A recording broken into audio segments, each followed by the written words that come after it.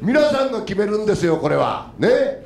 皆さんが本当に火の玉になってそして今日これからこの場所から本当に梅谷守る梅谷守るということで一票一票掘り起こしていただきたい。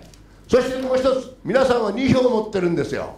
ね。比例代表の紙もあるんですよ。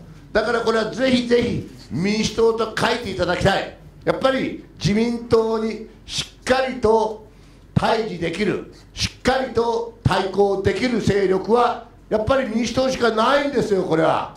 私はそう確信をして今日こちらへ上越にやってまいりました。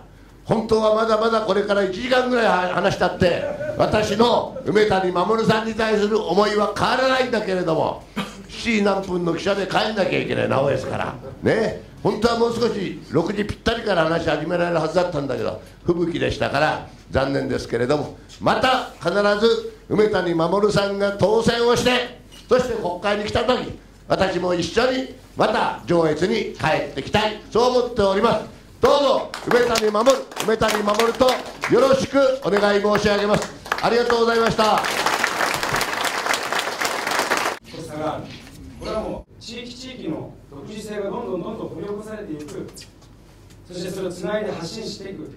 このお手伝いを国政がしっかりと国政の場から私はしっかりとしていきたい。